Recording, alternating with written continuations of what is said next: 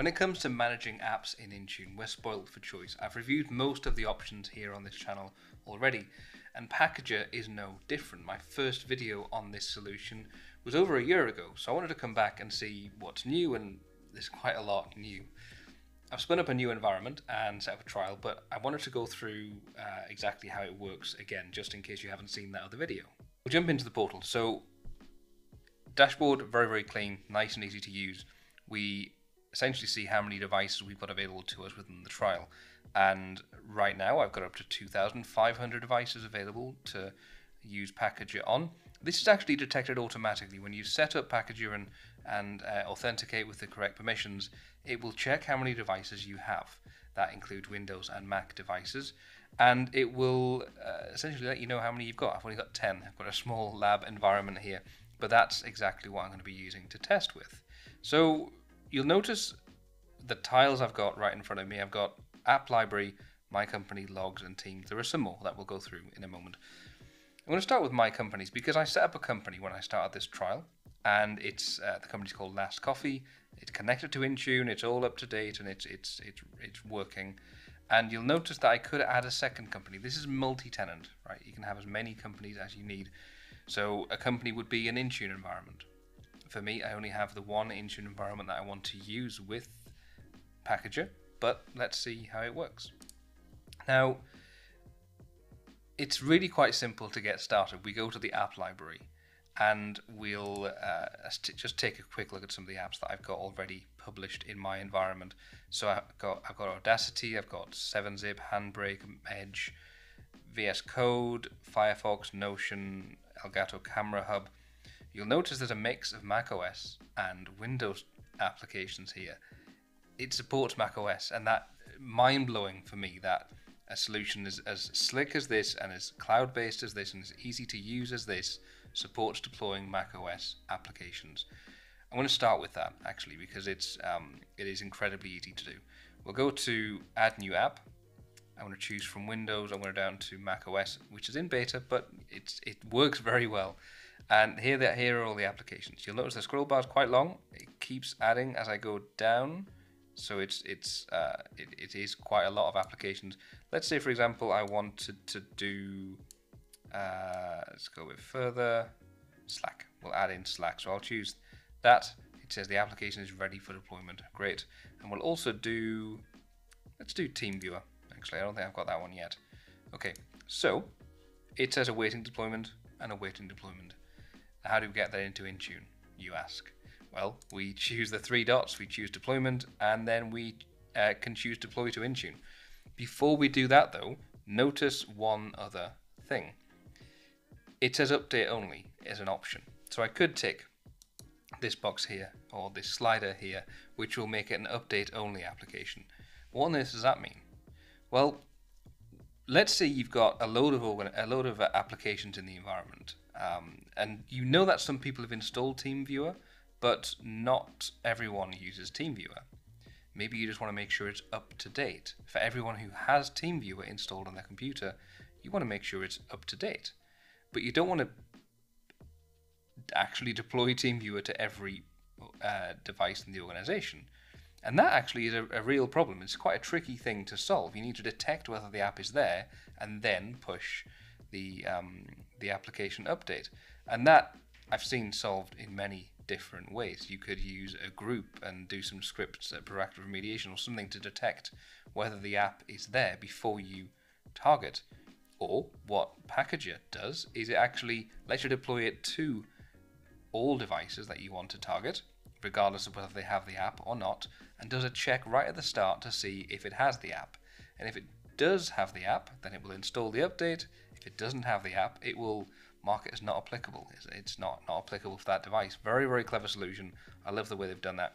So I'm going to go ahead and choose deploy to Intune as not an update, as a full application. And there it says Mac deployment. It's going to take a little while for it to do that because it actually uploads that content to my Intune tenant. And the same with Slack. I'm just going to go ahead and do deployment and deploy to Intune. So those are now ready for me in my Intune tenant. Actually, let's just jump over to my Intune tenant, take a quick look, and down to Mac, and then we'll find manage devices and then scripts. Pretty hard to find off the top of your head. Uh, so there it is. We have uh, Slack and we have TeamViewer. You can see I've been doing this for, for a little while now. Um, yeah, today I have deployed Slack and TeamViewer. Now those aren't actually assigned, those are just put into my Intune tenant. So let's see what happens when we actually push these.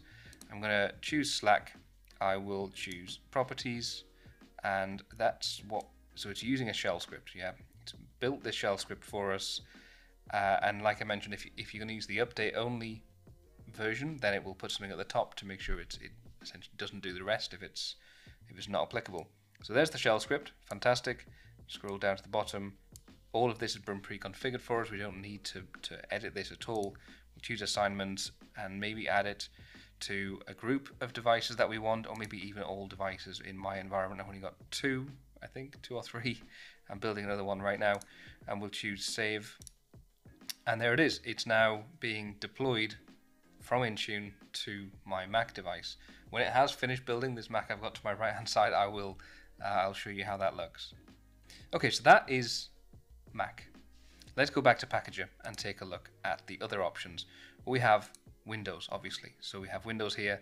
The list of Windows applications that are available in the Winget repo are absolutely it's a massive list, right? Look look at the size of it. We're still on A, and we we haven't even um, yeah okay a huge a huge list of applications, and these are very easy to to deploy as you can imagine. Let's say Belarc Advisor.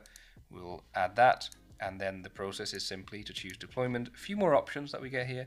We could do a custom install string, we can make it update only, we can remove the version from the display name if you don't like that in being shown to your users. We can make it auto update, and we can also choose advanced installer and use these psadt style commands here because it does wrap it in psadt. And then simply a case of choosing deploy to Intune. I'll do that now. So that one's over to Intune, but that is coming from the public Winget repo which has a bit of a bad reputation for being um, unreliable or insecure, and so there might be a reason you might want to use a private repo. Intune doesn't have one of those uh, by default. Microsoft doesn't have one of those by default that is available within Intune. So if I choose Add New App, and in Windows I can choose this slider here, and it actually takes us over to the private hosted repo hosted by uh, Intune Pckgr. So what does that mean? Well, it's hosted by Pckgr. All of the infrastructure is Pckgr. And it means that in the event of a failure of the Winget, uh, any of the components that make Winget work, this isn't going to have that problem because this all functions directly with Intune. Let me show you what I mean. This, uh, let me scroll down to something that I haven't done before. So Evernote, for example. This is a private hosted application. I'm going to choose the plus button and it says now added and it says awaiting deployment. So I'm going to choose the three dots, choose deployment, and I'm happy with all of that. You'll notice you do get this other slider uh, of number of days to wait. That's a feature of the private repo where you can actually say, yeah, let's deploy the auto update, but let's give it two days after the installation's finished, after the update's been released, before you actually push it to the organization. So I'm going to go ahead and choose deploy to Intune, and it's added to queue. Give that a few moments. It's going directly to Intune from Pckgr. So we'll give this a few seconds. That uh, Advisor has now finished, which means that Evernote should now start. It says deploying and uploading files. So that means that files are actually going to Intune. So it's not going to when it goes when, when the application gets deployed to my client, it's not coming from Winget, it's coming from Intune. The content will be using the standard Intune infrastructure, which will mean it can use all of the clever um, all the clever features that make the transfer work quickly and share the content between peers and all that kind of clever stuff is all built in because we've used private repo because we've used Intune Pckgr rather than just using Winget directly from Intune. So gives a few seconds to complete. Okay, and then we'll just jump over to Intune again. I'm going to this time go to applications because that's where it will be sat in apps down here, all apps, Windows, and I think it was Evernote, wasn't it? Evernote there is a Win32 app, not a WinGet app, it's a Win32 app, and it is actually packaged up in PowerShell App Deploy Toolkit because that means we can do all of those clever PowerShell App Deploy Toolkit things that we want to do, like closing applications or requiring certain things. And it mean, also means that we could have that interface that shows the user things are happening. So applications are installing, applications must be closed in order to complete this installation. All that kind of stuff is fully supported within the Deploy Application, um, within PowerShell Deploy Toolkit. I mean, so that's that. There is one final thing I wanted to show you, which is back in the packager library. We'll go to dashboard. And custom applications are another early beta thing that's going on within Pckgr. And what that means is that we can click this and we can actually request applications. We can upload a executable or an MSI and they will package it up for us automatically using our um, custom command here. We could even request that they figure out the uh, the silent install command if we want. Mm, if it's easy to figure out, then they will. Otherwise, it will um, automatically package this up in PSADT for you and put it in Pckgr for you so that you can upload it to Intune. Really looking forward to how they develop this and make this a, an absolutely stellar feature. So I think you'll agree that for organizations who want to manage updates and apps for Windows and Mac OS without relying on WinGet public repos or complex-ish solutions like Munki, um, this is a fantastic solution for the for the price that you pay it is very, very good value. In fact, just speaking about price, actually, I didn't touch on that because I'm using the trial. I'll go back to Intune Pckgr and I'll just sign out so I can see the pricing.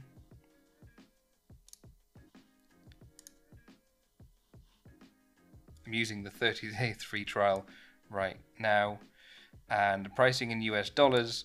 The version that supports macOS applications is the professional plan. So $69 per month for up to 1,000 devices, no matter how many tenants you have. Uh, a thousand devices. Very, very good value. That I, what is, what is that? Uh, like seven cents per device. Uh, it's not a lot of uh, it's not not a very costly solution when you look at it from that kind of scale. And then the next one up, the business plan, supports more devices. So if you have more devices in the organization, two and a half thousand, for example, in this case, it supports multiple tenants and Mac OS applications as well. The other thing that the business uh, plan supports, which is why I took the trial of business, is that it gives you the access to the private hosted repository and custom applications, which I think are the the stuff that right now is, is really top of mind for a lot of organizations who want that private repo, who don't want to rely on Winget.